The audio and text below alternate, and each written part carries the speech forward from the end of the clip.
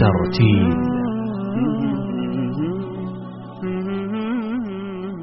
দিয়ে দিবেন তিনি কে এবার আল্লাহর প্রশংসা আল্লাহর নাম ধরে ডাকার পর দরুদ এবং সালাম পড়ছি সৈয়দুল মুরসালিন খাতামুন নবিয়্যিন ইমামুল মুরসালিন ওয়ান নবিয়্যিন কৃপণতা লাজুকতাকে ভুলে উচ্চারণ করে সকলে পড়ছি, মুহাম্মাদুর আলাইহি ওয়াসাল্লাম। সবাই পড়েছেন? সবাই করেছেন ও, দেখা যাচ্ছে না তাই? আচ্ছা এরা আমার অত্যন্ত আপদ। এই মিডিয়ার ভাইয়েরা, তারা অল্প কথাগুলো বৃহৎ আকারে ছড়িয়ে দেয়। আপনাদের দেখতে খুব কষ্ট হচ্ছে। আচ্ছা যদি খুব কষ্ট হয়, তাহলে ওনারা সরে যাবেন, অসুবিধা নেই। ওনারা কিন্তু গান বাজনার কাজ করে না। ওনারা কোরআনের এই কথাগুলো এমনভাবে ছড়িয়ে দেয়, বহু মানুষ তাদের কারণে মুসলমান হচ্ছে, আলহামদুলিল্লাহ। বহু ছেলে গান বাজনা ছেড়ে কোরআনের এই আলোচনাগুলো এদের মাধ্যমে শুনছে। এজন্য তাদেরকে আমরা কষ্ট না দিই, এই কাজে সহযোগিতা করি। আর দাল আলাল খাইরি কাফা আইলিহি ভালো কাজে সহযোগিতা করলে, পূর্ণ ভালো কাজ করার সব যিনি দান করবেন তিনি কে? আপনাদের বেশি কষ্ট হচ্ছে? ঠিক আছে তো? আপনারা খুব ভালো মানুষ।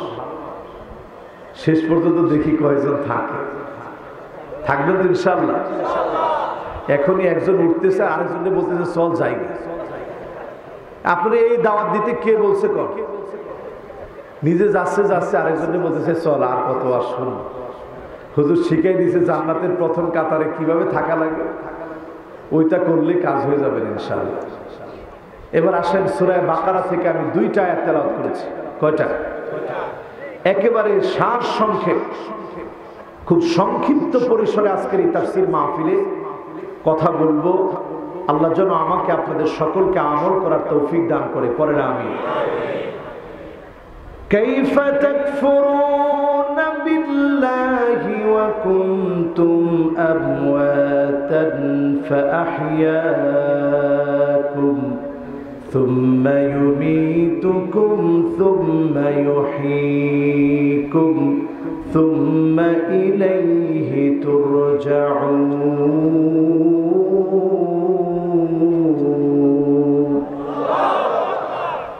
والذي خلق لكم ما في الأرض جميعا ثم استوى إلى السماء فسواهن سبع سماوات وهو بكل شيء عليم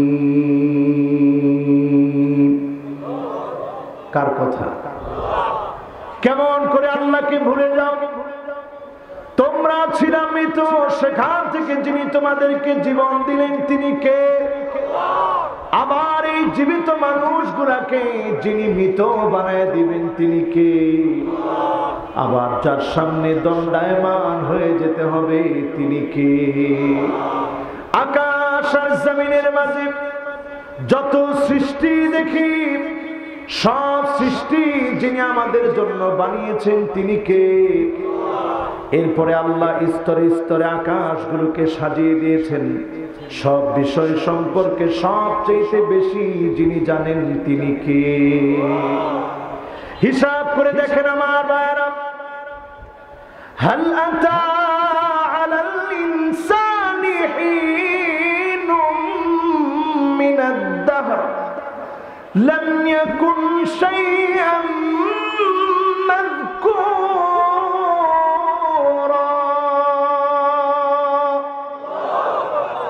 উল্লেখ করার মতো কোন বস্তু আমি ছিলাম না। যার শোনার জন্য, কোরআনের কথাগুলো শোনার জন্য আপনারা আসলে অনুল্লেখিত বস্তু ছিলাম। সেখান থেকে যিনি মহাব্বত করে ভালোবেসে এখানে বসায় দিয়েছেন তিনি কে? আজকের এখান থেকে হিসাব করে নিয়ে যাব আমার ভাইয়ারা। আল্লাহ যদি আপনাকে পছন্দ করে অনেক দূরে গিয়ে আপনার বুঝতে হবে না। যখন দেখবেন মানুষ আপনাকে ভালোবাসে, বুঝবেন যিনি ভালোবেসে ফেলেছে তিনি কে? আল্লাহ যখন ভালোবাসবে, জিবরিলকে ডেকে বলবে, ইন্নী উহিব্বু ফুলানান ফাহিব্বুহু। ও জিবরিল, অমুক বান্দাকে আমি ভালোবেসেছি। তোমরাও ভালোবেসে ফেলো। ভালোবাসা, মোহাব্বত যখন আল্লাহ দিয়ে দিবে। জিবরিল তখন ভালোবাসবে। ফেরেশতারা ভালোবাসবে। ফেরেশতারা যখন পৌঁছায় দিবে, ছড়িয়ে দিবে, মানুষের হৃদয়ে যিনি মোহাম্মত ঢেলে দিবেন, তিনি কে? এই জন্য যখন দেখবেন মানুষ আপনাকে ভালোবাসছে বুঝে নিবেন যিনি ভালোবাসতেছেন তিনি কে। যার কাছ থেকে ভালোবাসা এসেছে, তিনি কে? আল্লাহকে কেমন করে ভুলে যান?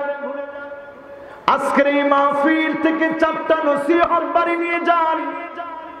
স্মরণ করে লিখে রাখবেন, এক নাম্বার নসিহত হচ্ছে আলী রাদিয়াল্লাহু তাআলা আনহুর নসিহত। এক নাম্বার নসিহত হচ্ছে, মান আরাদা সাহিবাহু ফাল্লাহু ইয়াকফি।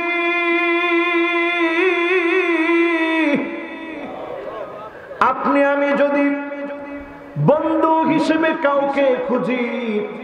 আল্লাহকে বন্ধু বানায় নেন।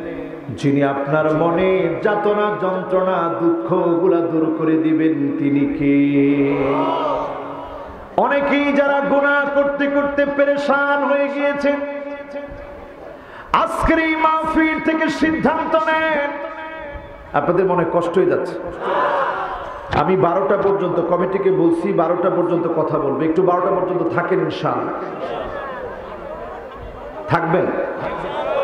আলহামদুলিল্লাহ, আমার মাহফিলে আল্লাহর একটা নূর, আল্লাহর একটা বারাকা মাহফিলে মানুষ বেশি উঠা বসা করে না। যারা যেখানে থাকে, তারা থাকে। এই জন্য আমি মাহফিলগুলোতে একটু আগে বসতে চাই। এখন কমিটি যদি না বসায়, আমি তো এসে কমিটিকে ধমক দিতে পারি এটা দাঁড়ির কাজ না। এই জন্য আমি ধমক ধমক টমকও দিই নেই। আমি এসে বলছি, দশটায় মাইক দিবে। স্বাভাবিক, দশটায় যদি তারা দিত, আমরা এতক্ষণে এক ঘণ্টা ওয়াজ শুনে ফেলতাম। কিন্তু তারা তা করে না এই জন্য এখন আপনাদের হক নষ্ট হয়। এটাও আমি কোনোভাবে চাই না। তো আপনাদের অনেকের মনে কষ্ট হচ্ছে, যারা চলে যাচ্ছেন। দু একজন চলে গেলে আমার কাছে মনে হবে যে, আমার এই ভাইটাকে আমি হারালাম, আমি মনে হয় বোঝাতে পারি না আচ্ছা কে কে চলে যাবে? বা হাজত ছাড়া দরকার? আপনারা একবার একজন দুইজন করে গেলে মনে হয় এটার বিশৃঙ্খলাটা অসুন্দর হয় বেশি। আপনাদের কি অনেকের চলে যাওয়া দরকার। আমি দেখতেছি একজন মুরব্বী চলে গেছিল হাজত ছেড়ে তিনি চলে আসছেন। আমরা ইনশাল্লাহ ডান দিকে কথা বলে কে?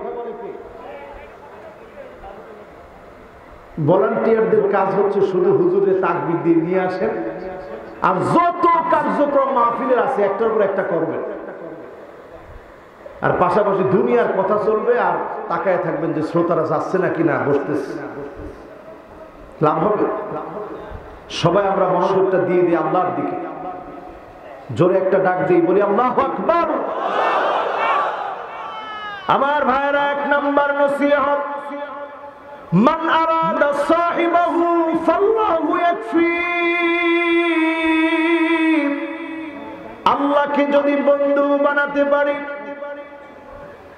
যত না যন্ত্রণা যত রকমের পেরেশানি আছে, যিনি দূর করে দিবেন তিনি কে? মোমেনের জীবনের পেরেশানি দুনিয়ার জীবনে একেবারে ফুরিয়ে যাবে না। যতদিন আপনি ইমানের উপরে থাকবেন, পরীক্ষা আসবে। এই পরীক্ষার পরে যিনি উত্তীর্ণ বানা জান্নাত দিবেন, তিনি কে? আল্লাহ রাব্বুল আলামিন। মোমেনের চোখের সামনে সবচেয়ে যিনি মাজলুম হবে, তার সামনে তিনি জান্নাতটাকে তুলে ধরবেন। ফেরেশতাকে বলবেন, এক নজর জান্নাতটা দেখায় নিয়ে আসো। সবচেয়ে মাজলুম যেই মোমেন হবে, এমন নবীর কবর আমি আমার ক্ষুদ্র জীবনে জিয়ারত করেছি ওনার মাথা থেকে দেহটাকে আলাদা করে দেওয়া হয়েছে। দেহ এক জায়গায় দাফন করেছে, মাথা আরেক জায়গায় দাফন করা হয়েছে। এইভাবে করে নাবিয়াম বিয়ালি সালামদেরকে পর্যন্ত জুলুম করা হয়েছে। দেহ এক জায়গায় মাথা আরেক জায়গায় দাফন করা হয়েছে। আল্লাহর আদালতে সবচেয়ে যিনি মাজলুম, আল্লাহ বলবে, মাজলুম আমার গোলামটাকে জান্নাতটা এক নজরে দেখায় নিয়ে আসো। ইমানের কারণে যে জুলুমের শিকার হয়েছে, অন্যদিকে দুনিয়ার সবচেয়ে সুখী ইমান আনে নাই, তাকে জাহান নামটা দেখায় নিয়ে আসো। ইদমিসুহু গসাতাম মিনান্নার।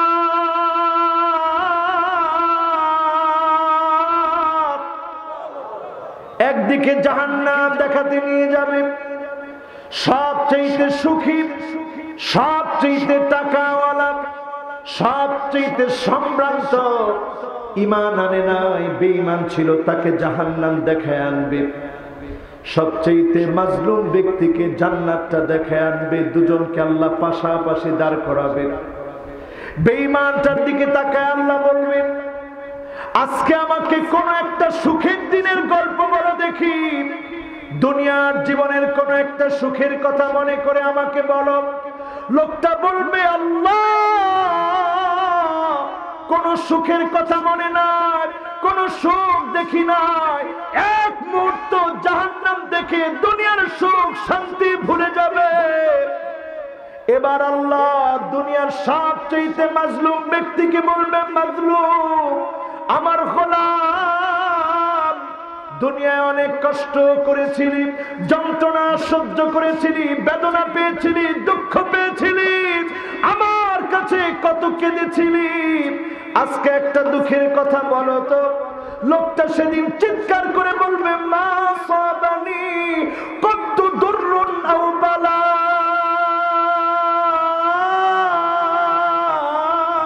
আল্লাহ কোন দুঃখ আমার নাই। জীবনে কোনো দিন কোন দুঃখ দেখি নাই বলেন আল্লাহ আকবার। এক মুহূর্ত জান্নাত দেখার কারণে দুঃখ ভুলে যাবে। এক মুহূর্ত জাহান্নাম দেখার কারণে সকল সুখ ভুলে যাবে। এই জন্য মোমেনের জীবনে দুঃখ যন্ত্রণা থাকবে। যদি দুঃখগুলো বুঝতে চান, বন্ধু বানাবেন কাকে? সবাই বলেন কাকে?